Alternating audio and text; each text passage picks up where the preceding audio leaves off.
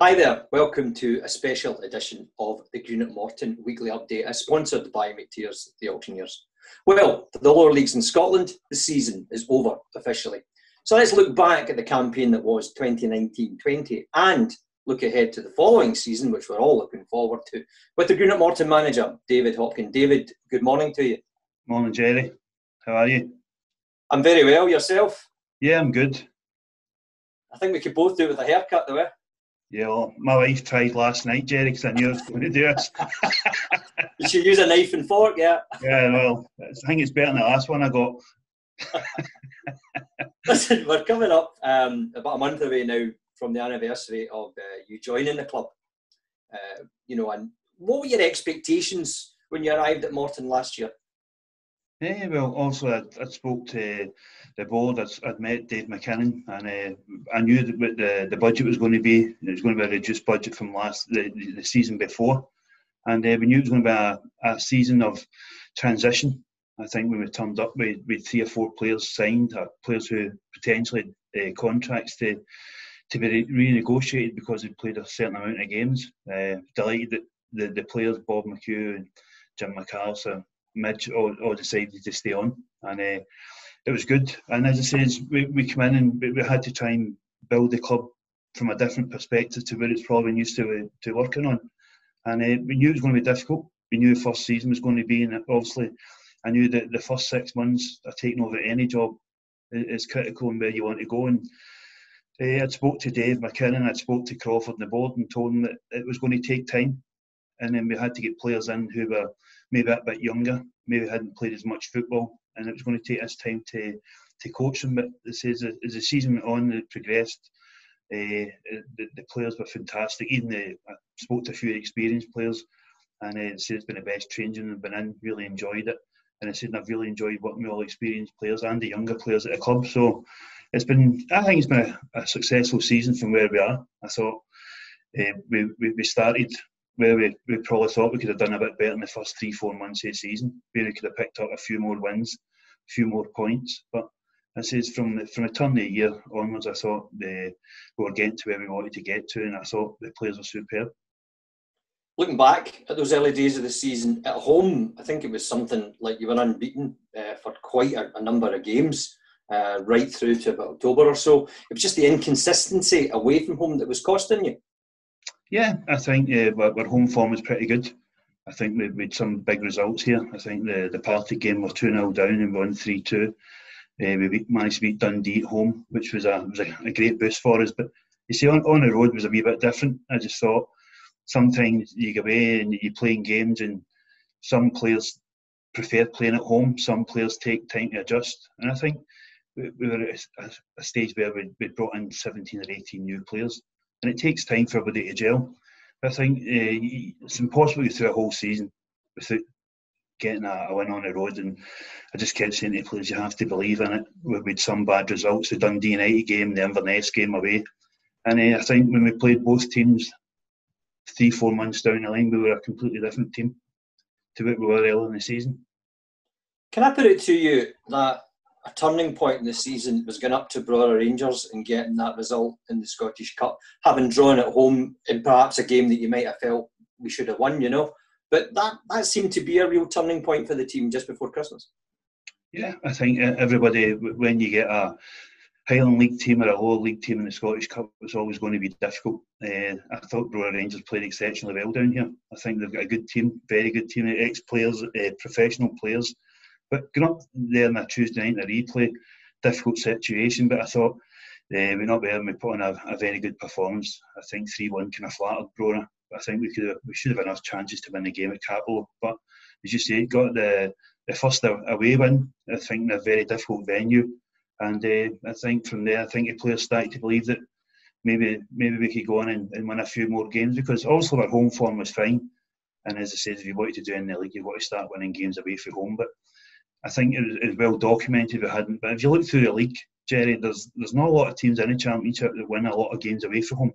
It's mostly mm-hmm. their, their home form that either gets them to a playoff or keeps them in the league, or because it's a difficult league to come in and get away from home. And and uh, as I say, once once we won that game, I think the, the players get great belief from it. You creep up to the cliche about a season of two halves, but certainly getting that result away at Arbroath, the 2 1 victory just uh, into the new year, that really set the run off, didn't it? I think it was nine out of 10 games uh, undefeated. And then even the defeated game was like a 93rd winner from uh, Inverness Caley. Yeah. As I said, we, we, we went to Arbroath, another very uh, difficult place to go. Their, their home form's excellent. And I say we, to get that 2 1 win there was, was brilliant because I think we'd just been uh, lost 2 1 at home to Partick Thistle the week before.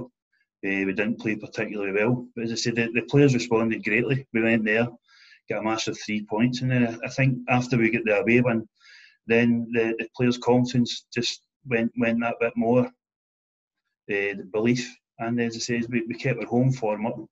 And as I said, we managed to, well, nine out of 10 games, as you mentioned, and to lose at Inverness in the last kick of the ball was was a hard one to take because I think we deserved a point and it could have been a massive point going forward. But we, we keep going back to where, where we were in the beginning of the season and, and where we were finishing the season. You say we've nine nine games out of ten, we've lost one in the last kick of the ball, and uh, the season the the players are feeling in good good spirits. And as I says, we were only far away from the playoffs with teams like United and Inverness and Dundee, everybody thought had a fantastic season. They were only four or five points in front of us. February was a big month, personally for yourself and also for Nicky Cadden picking up you know, Player of the Month, you get Manager of the Month. I know you don't like to talk about that, David, but I think that was a pretty pivotal month in the season. Yeah, I think both were. I think January and February were. I think we had a fantastic January too, and uh, and February. So uh, his accolades are fantastic to get, especially I think if you're a player.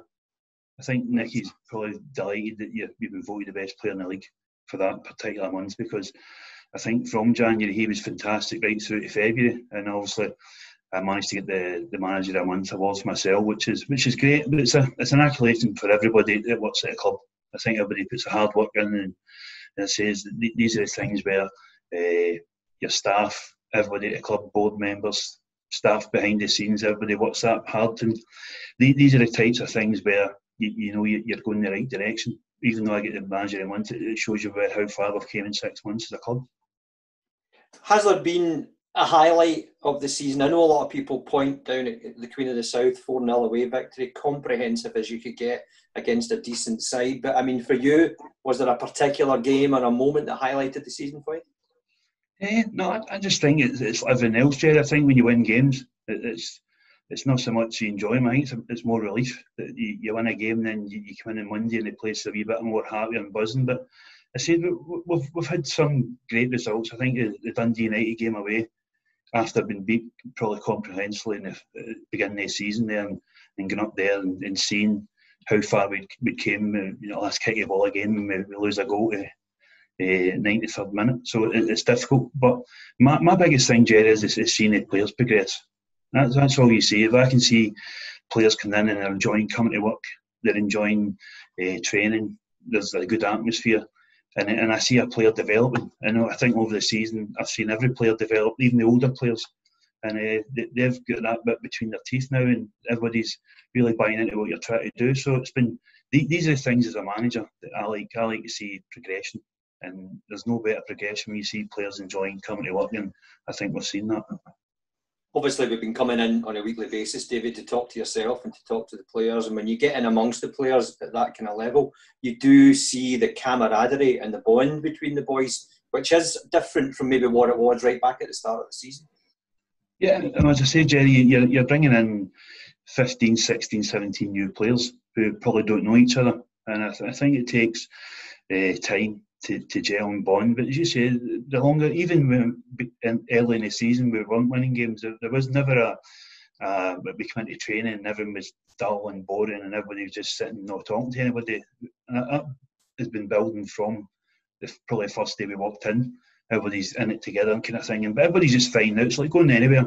You're trying to find out people's uh, what makes them tick, what they don't like. You know what I mean? But we, would never ever panicked from when we come in the door because as it says we always had a, a plan going forward. We knew that once the players were up to speed and once the players had a, an idea and an identity, and I think that was the biggest thing we were starting to get at the club's identity, how we wanted to play football, and hopefully get Morton fans seen that.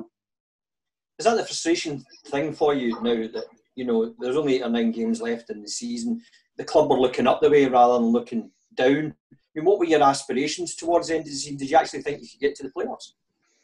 I, I, think most people would have probably thought players certainly would have, and I think if you'd have seen the form we, we were on, to say nine unbeaten out of ten is is probably championship stuff. That's like Dundee United, Dundee, all the bigger teams in your league, Inverness would, would like to go on that kind of run. And uh, I think we were getting into the last eight games. I think we were getting fitter, we were getting stronger mentally. This is uh, probably a growth game just at the end, probably typified how how fit and how good we were because I, I watched the game back. People might say oh, it was, wasn't a greatest game, but you've got to give Arbroath great credit. It was your fifth game or something in 12 days. And to, to go back and score an equaliser right now, the, the last header uh, a game's fantastic. So, uh, no, it's, it's, it's, it's, one of these things now you don't know because we all, we're, everybody's talking about different different things now going on in leagues. But we, you it, we're only four points behind there. United, who were in fourth. And uh, I think everybody now where we were, I think we were we were in a good we were in a good place. I think we're starting to get in, as it says.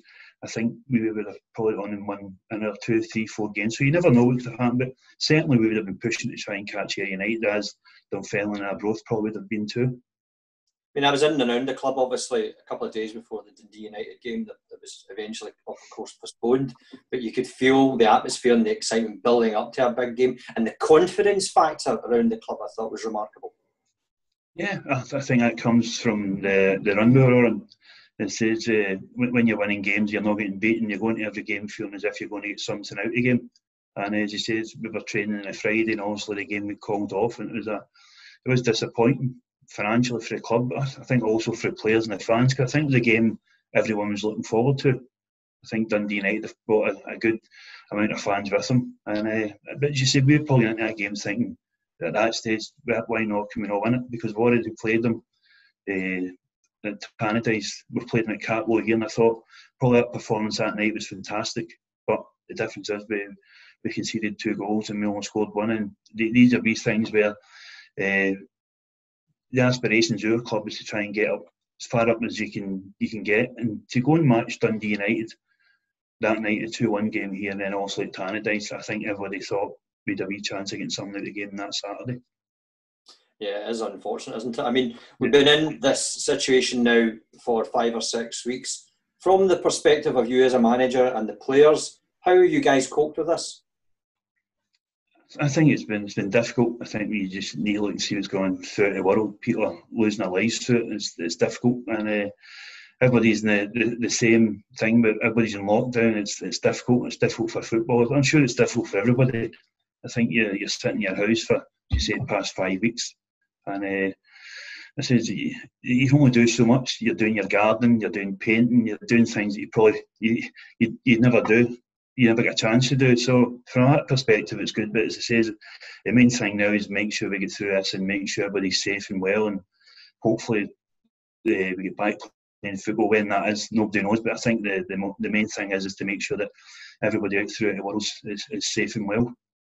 Okay, well let's look ahead then, because I remember talking to you in February for the weekly update, and you were actually planning ahead for next season. Uh, I mean, obviously plans have had to be put into a certain disarray because of the situation that we're in at the moment. But what are your aspirations for the new season?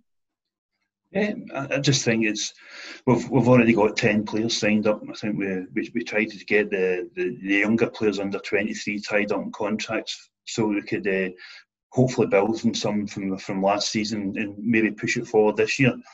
Honestly, what's happened in the world just now, nobody really knows when we're going to be back playing or different things from contracts of players that are out. So hopefully we're, we're looking over the next couple of weeks to see if uh, the league gets finished in the Premier League and then we can kind of start to plan for next season. But it's difficult because nobody's got a time scale of when we're coming back.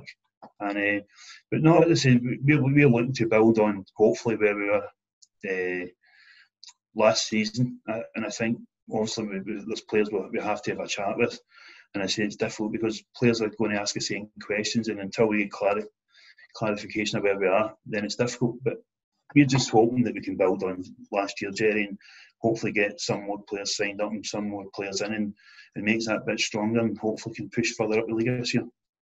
David, we're looking really looking forward actually to seeing you and the boys back training again and back out on the pitch.